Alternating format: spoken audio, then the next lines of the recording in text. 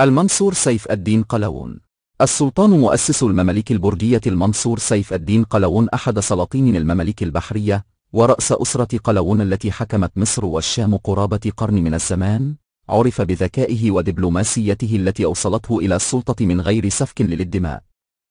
أنشأ عصبة جديدة من المماليك الذين حكموا من بعد انتهاء حقبة المماليك الأتراك وعرفوا باسم المماليك البرجية عمل بدهاء على فك الارتباط بين المغول والصليبيين وهو ما ضمن عدم تحالفهم ضده. وقد كان المنصور سيف الدين قلاوون الألفي العلائي النجمي الصالحي يعود إلى القبقق وهم أهل كازاخستان حاليا.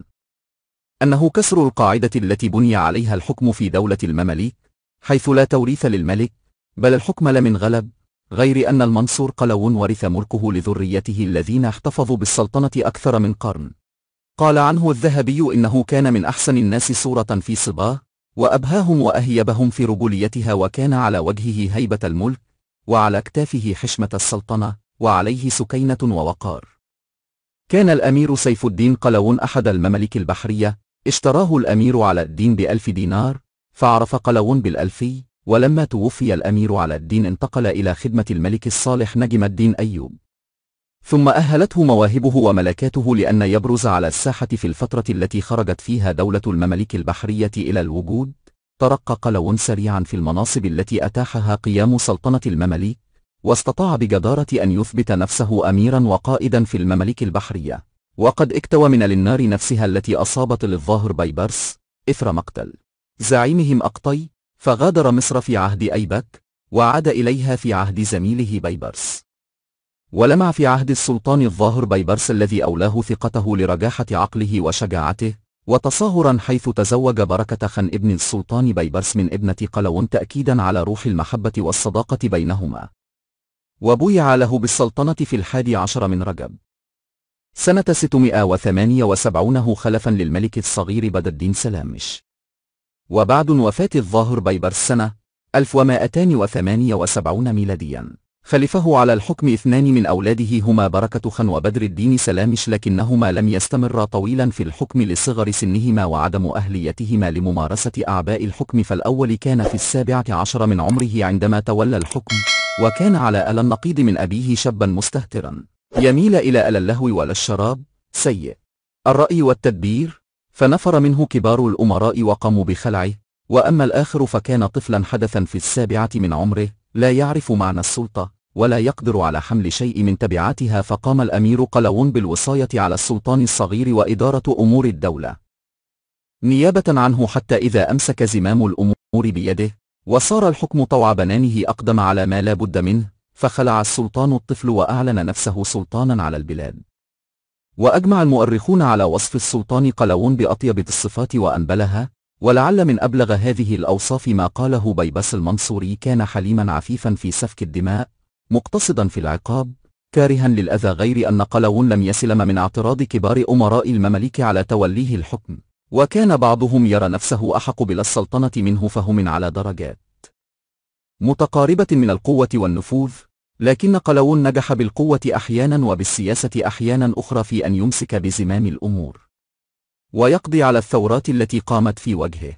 ونجح قلاوون في استمالة قلوب الناس إليه لرأفته ولينه وميله إلى رفع ما يزيد من معاناتهم فألغى كثيرا من الضرائب التي كانت تفرض على الناس وأبطل كثيرا من المظالم التي عانى الشعب منها.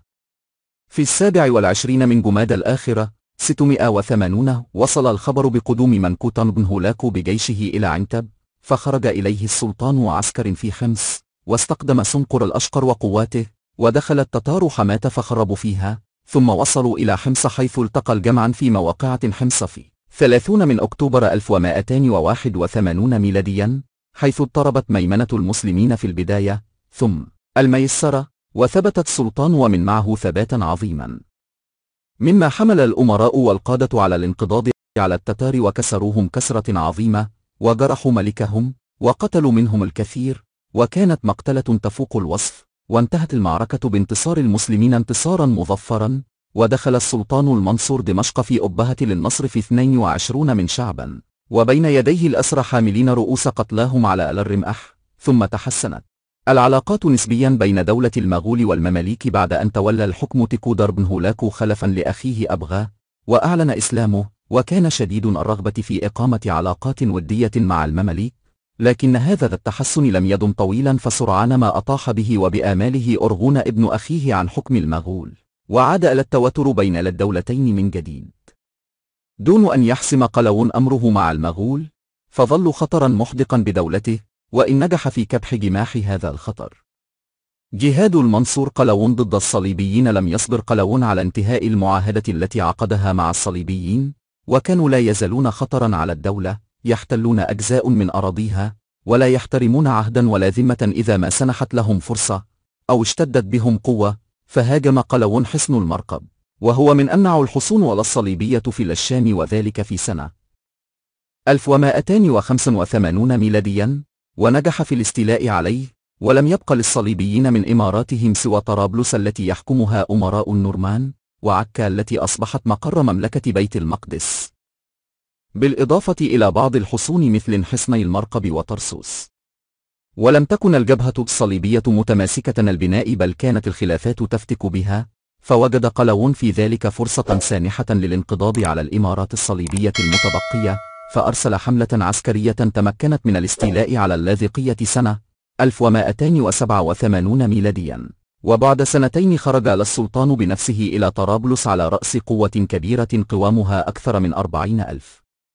جندي وحاصرها 34 يوما استسلمت بعدها في أبريل 1289 ميلاديا وعلى إثرها سقطت المدن الأخرى المجاورة مثل بيروت وجبلت وانحصر الوجود الصليبي في عكا وصيدا وصور وغيليت بعد أن كانت الممالك الصليبية تمتد على طول الساحل الشامي للبحر المتوسط وتوفي السلطان المنصور دون أن يتحقق أمله في فتح عكا آخر الإمارات الصليبية. غير أن الأقدار شاءت أن ينال ابنه خليل قلون شرف إنهاء الوجود الصليبي في بلاد الشام. بعد أن نجح في اقتحام أسوار عكا المنيعة في 17 من جماد الآخر 690 18 من مايو 1290 ميلاديا وبعد عكا سقط بقية المعاقل الصليبية في الشام وطويت آخر صفحة من صفحاتها. على الرغم من انشغال السلطان بمجابهة الخطر الصليبي والمغولي وإعداد الحملات العسكرية التي استنفدت المال والجهد فإن السلطان لم يغفل عن تنشيط الحركة العلمية ومواصلة البناء والعمارة وإقامة المدارس والمساجد. وكانت القاهرة قد أصبحت موئلا للعلم ومركزا للحضارة بعد سقوط بغداد وازدياد سقوط دول الإسلام في الأندلس على يد الإسبان فتوافد إليها العلماء واتخذوها قبلة لهم ووجدوا في كنف سلاطين المماليك كل رعاية واهتمام. ويذكر التاريخ للسلطان قلاوون ما قام به من إنشاءات عظيمة ارتبطت بها نهضة علمية ونشاط وافر فأقام عددا من المدارس التي امتلأت بالشيوخ وطلبة العلم وفي مقدمتها المدرسة المنصورية التي أوقفها لتدريس الفقه على المذاهب الأربعة وكان يتولى للتدريس بها كبار الآئمة وأعيان الفقهاء والمحدثين. وتتضمن حجة الوقف التي كتبها قلون إشارات كثيرة تتعلق بتنظيم. العملية التعليمية داخل المدرسة وذلك من حيث مقر الدراسة وجلوس أهل المذاهب الأربعة بها وأماكن سكن المدرسين الفقهاء وأجورهم ورواتبهم. وغير ذلك من الشروط وتعد المدرسة من أروع المدارس المملوكية التي شيدت بالقاهرة لعمارتها الراقية وزخارفها الرائعة. ولم تكن القبة المنصورية التي أقامها لتكون مدفنا له مقصورة على هذا الغرض بل جعل منها مدرسة ومسجدا ورتب بها خمسين مقرئا يقرؤون القرآن ليلا ونهارا وخصص لها إماما للصلاة وعالما لتفسير القرآن للطلاب الذين يؤمون القبة. وجعل بها خزانة للكتب وخازنا يقوم بأمرها وهذه القبة من أجمل القباب. الباقية بمدينة القاهرة.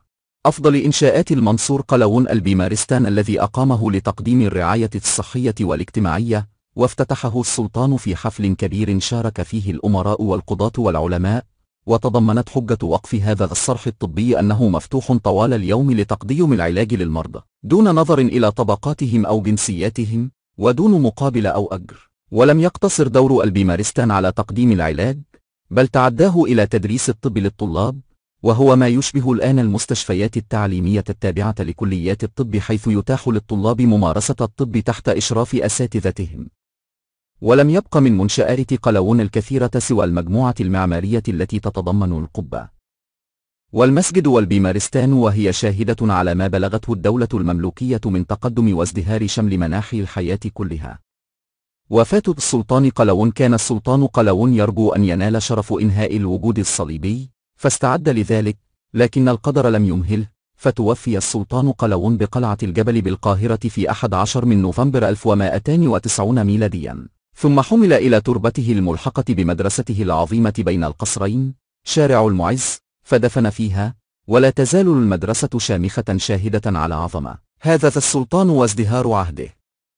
خلف السلطان المنصور ولده السلطان الأشرف صلاح الدين خليل بن قلاوون الذي استكمل رحلة الجهاد وفتح فتوحا عظيمة كان أهمها فتحه لعكا. ومن بعده أخوه الناصر محمد بن قلاوون وظل الحكم في ولد قلاوون نحو قرن من الزمان.